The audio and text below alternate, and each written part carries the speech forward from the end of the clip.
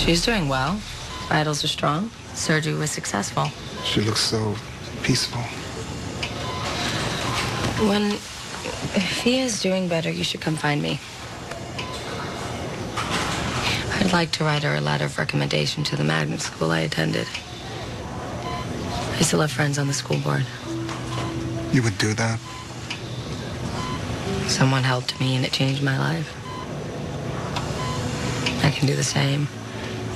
Cross that line for her That would mean so much to us. and to me.